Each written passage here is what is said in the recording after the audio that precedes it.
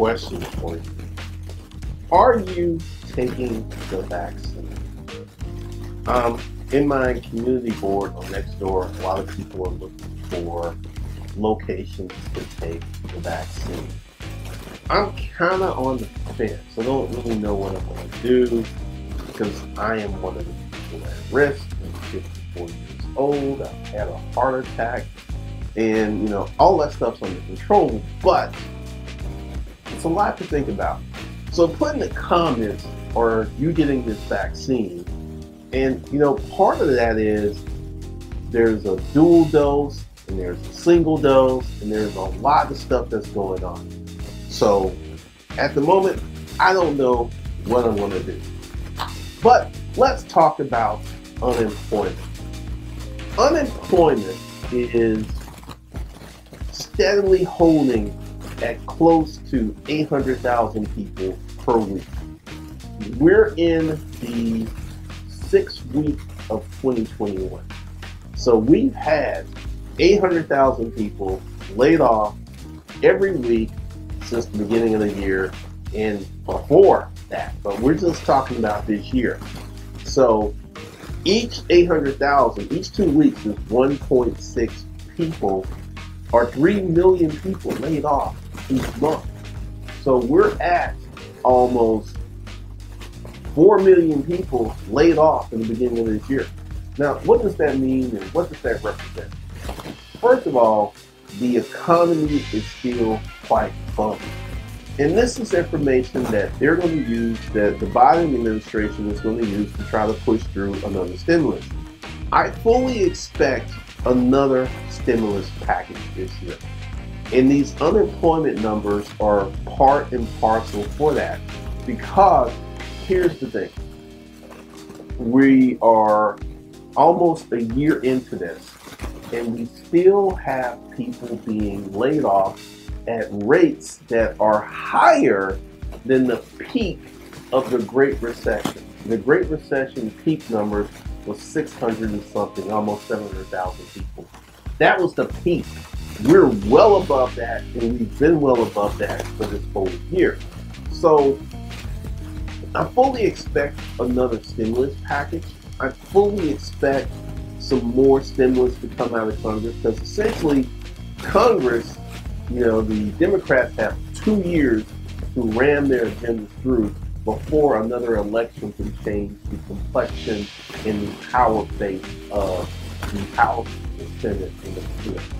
The House and the Senate. The presidency, you know, he has four years to do what he wants to do. But I've been really looking at the unemployment. I know people, personally know people who have been looking for jobs for months. And I have one friend, she can seem to find a job just like, you know, quit a job, find a job. But I have about eight friends that I know that have been looking for jobs for months. Now, here's the, the problem that they have. They are single mothers. And this is something that this economy is killing is single mothers.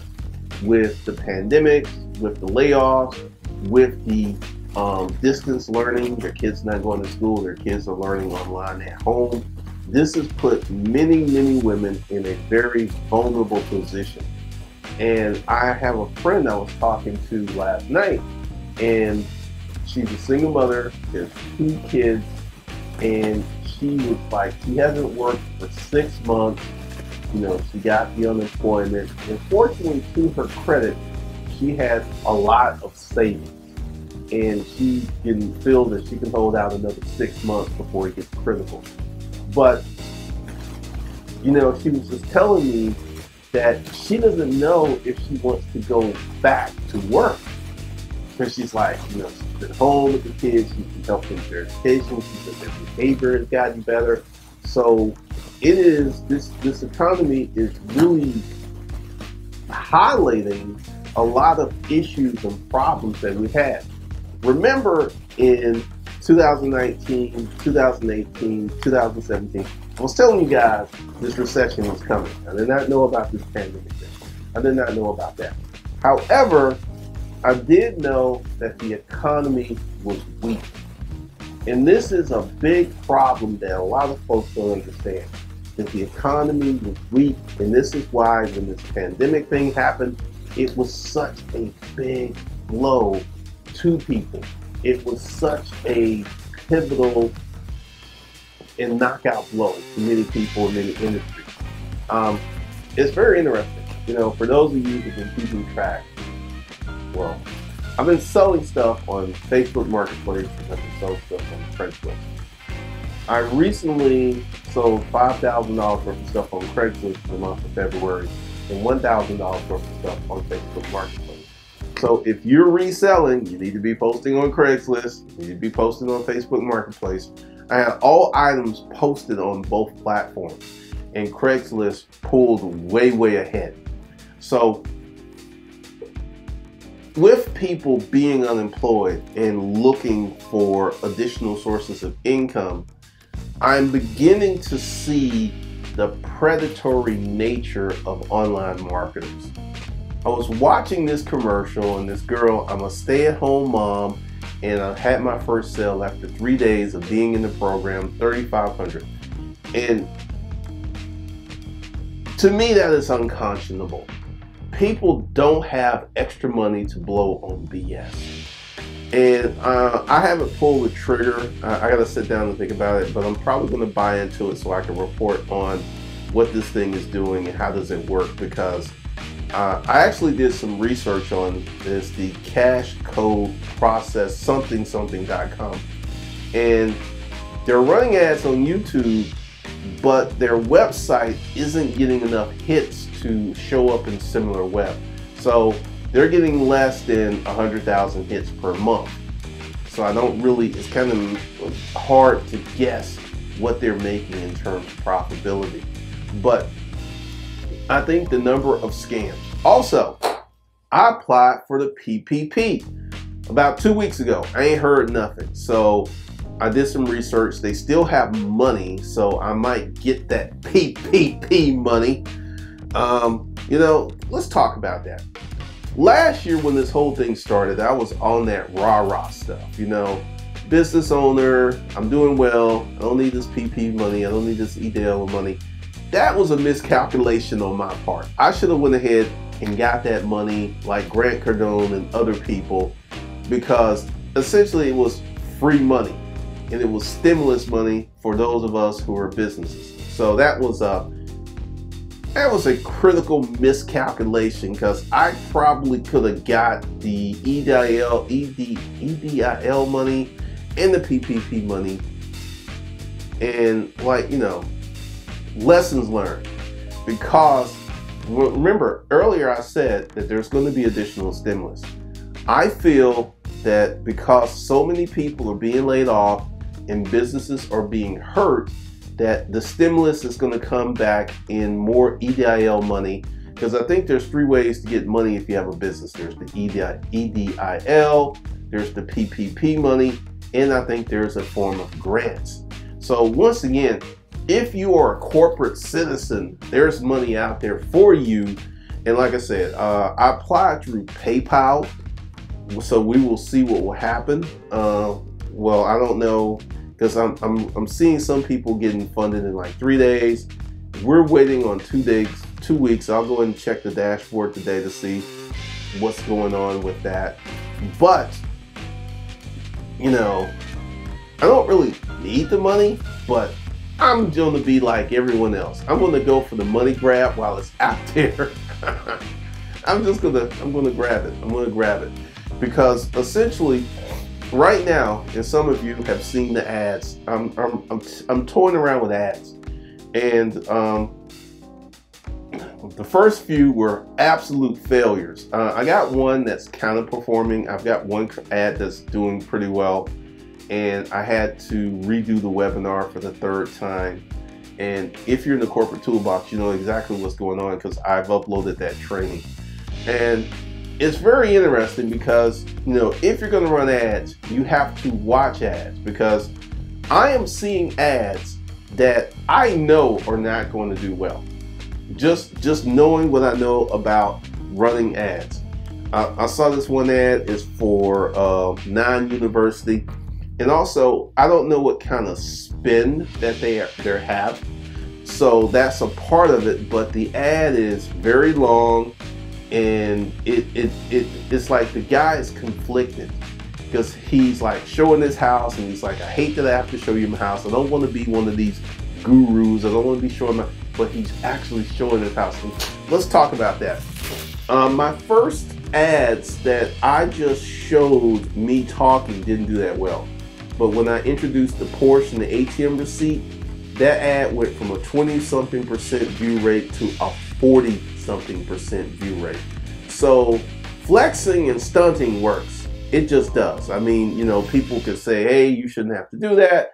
But this is what I have found out from my research because I've got a bunch of failed ads, I've got a bunch of failed webinars, and uh, this is what I'm going to be working on this month because it's a game changer. Once you get an ad that works, man, that's like cooking with gas. So I'm also thinking of some new training and you know put in the comments some things that you would like to see because you know we have the corporate toolbox which is doing really well the art of holding which did really well um, i'm thinking about creating some stuff for disruptive mail putting together that I, I need to pay some more attention to my folks at disruptive mail because uh, you know a lot of time goes into this channel and a lot of time goes into savage finance and really working on this. Because you know this is a pivotal year. As i talked about in the beginning and over there in savage finance is a video talking about your money window. Many people don't know that they have a money window. And this is why this unemployment is so bad and dangerous because many people are suffering. Like my friend I was talking to, she has been laid off six months. Do you know for every month that you've been laid off, it could take you a year to get back to where you were? I mean, you know, a lot of people don't know this stuff. They they they're experiencing it, they're feeling it, but they really don't know how bad this is because right now, my friend, she has a savings account. She's on unemployment, but her her savings account is going down, and it took her years to build this. And if you don't understand, you have a money window. Go to Savage Finance, check out that video. Um, one of the things I want you guys to understand is starting a business is the best investment that you can make for yourself. And you know, uh, someone put in there most businesses fail. Actually, that's not true. 20% of businesses fail the first year, so that means 80% of businesses make it. Um, it is the fastest way to wealth. It's faster than Bitcoin. It's faster than stocks. Now there have been some recent events with GameStop and um, AMC Theaters. These are corporate gambits playing by hedge funds. And this is the first time the little man was able to get in the game. Let me tell you what I think happened. I feel that another hedge fund got on the side of the redditors because essentially I was listening to the Wall Street Trapper, Wall Street Trapper, and some other people, and they don't believe it was the retail investors that moved the market. He said they don't have enough money. And I did a simple calculation. I was like, because the average person has 5,000, and there was like 3 million Redditors, right? So if you do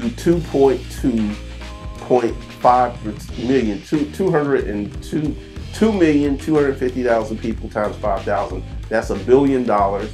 So let's say they had 1.2 billion dollars. They didn't have enough money to move the market. They didn't have enough money.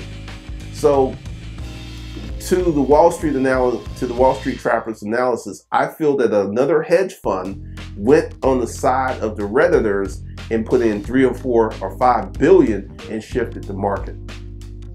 So in the future, I feel that Wall Street bets because I think there's like 8.2 um, million people over there now.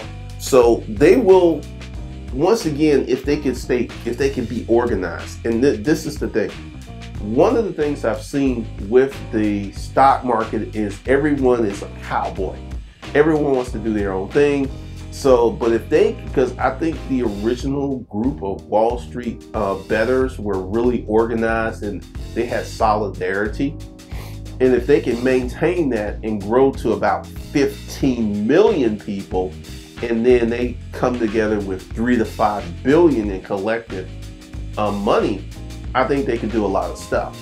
But it's a matter of building that organization and keeping the discipline and keeping the rules, which, you know, I've been here on the YouTubes and I've been seeing all kinds of stuff. And, you know, some about the Wall Street Trapper. He's a good dude. Um, a lot of people got pissed off at him when he jumped into GameStop, but he didn't tell his people what he was doing. And he, he's like, I am not bringing my people into a burning house. And I really agree with that because this is one of the reasons that, you know, I, I got a comment and to Rizzy, shout out to Rizzy, who actually provided some receipts. First person in 12 years to actually provide some receipts of what they were saying in the comments. So shout out to Rizzy. Um, one of the things that, you know, let's talk about this Bitcoin thing. I don't hate Bitcoin. I hate the fanatic religion around Bitcoin. I've seen a lot of people lose a lot of money playing this game, and now the game has shifted to where Elon Musk has gotten into it, and essentially he's playing the game you can't play because you don't have enough money. And he's also 100% protected. If Bitcoin goes to zero, Elon Musk risked less than a percent of his total wealth less than a percent. So if it goes bust, Elon Musk is not going to be eating bologna sandwiches. He's, he's going to be like, oh, well, that didn't work. And his life will continue on. And Tesla will not be harmed. I, I really think that when they sat down and did this, that they figured out what amount they could risk and if it went bad. Because Elon Musk, you don't start multiple billion dollar companies by being stupid. You know, he may smoke a weed on the Joe Rogan show. He may do some stuff, but at his core, he's a very intelligent dude. So here's the thing. And like for me, I got something that's working. So I'm not running over here to the Bitcoin or the crypto. I got something that's working. And I feel that so many people who are getting into crypto are getting into crypto on a hope, a wing, and a prayer because they don't have no money. That's what I feel. And that's what I hate because going back to these ads that are preying on people's vulnerabilities, like this, this cash code thing. I mean, it's just people opening up envelopes, pulling out money. I don't have to do anything. I don't have to sell anything. All I gotta do is sit and wait until I get the envelope with some cash or check it. And from you know 20 years of being an entrepreneur, it don't work like that. It doesn't. But I know that. I know that. But let's say you're one of the people who has been, um, life has been turned upside down by this pandemic. Um, you don't know that. And you're, let, let me tell you, at one point in my life, I was desperate. I was really, really desperate. You know what I did? I had $200. You know what I did with my $200? I went to the little Quick Mart and I spent $200 on scratch offs. First time ever telling this story. And I just felt, because I was desperate, I was pressed, and I just felt erroneously that I was going to make some money. So I bought $200 worth of scratch offs and I lost $120. Only 80 of them uh, cashed out. $80 cashed out of 200. So I lost 120. And I learned a very valuable lesson. Just because you feel, just because you hope, just because you have needs, doesn't mean that things are going to work out your way. Because uh, essentially, this is something I see with a lot of single mothers. Someone needs to help me with these kids. Um, not necessarily. You had those children, and it's your responsibility. And you don't seem to understand that it's your responsibility. You want to share that responsibility with someone else and typically uh, a lot of people are not feeling that. So yeah, that was my desperate moment because essentially I'm trying to create my ads to be attention getting because if you don't get someone's attention, you can't sell to them. I mean, that's just 100%. I'm found that out. So I'm trying to be get attention and also to be honest and to tell people what I can do, the training and offering that I can give them, that I can help them make some money. So that's the challenge that we're going on. And I'm probably going to start doing these kind of like little reports because unemployment is something you should keep your eye on because if people are getting laid off, that means businesses are not doing well. And businesses are not doing well, that means businesses are close to shutting down. Business owners are losing their business, business owners are losing their income, business owners are losing their employees, and it is a wicked, wicked cycle. Fortunately, it's not a cycle that I've gone through, but once again, this is one of the reasons I did the video at Savage Finance why you need to have some cash. You know, Grant Cardone is telling everyone cash is trash. But if you listen to Grant Cardone's earlier videos, he talked about when he was working, when he was doing this business, he put a lot of cash in the bank. So it, it's like people, which I do understand, that when people get to a certain level, they forget the path and the journey that got them there. Because I'll be honest, I am fundamentally disconnected from the average man. I am 100% disconnected from the average man. And this is one of the things that I have to work on because it is the average man that moves YouTube. It is the average person. It's not a, you know, there's a group of folks who are well off, but that's a small contingency of people. It's the average man that moves stuff, the average man that um, changes the world. So that's one of the things. But you know, I'm gonna start doing these like economic employee uh, economic reports and talk about what is going on because unemployment is a big, big signal. And let's go back to the 2007. That's when it started. The recession started in 2007. They didn't call it until 2008 and it went roaring in 2009. Do you understand there are people who have not recovered from that recession?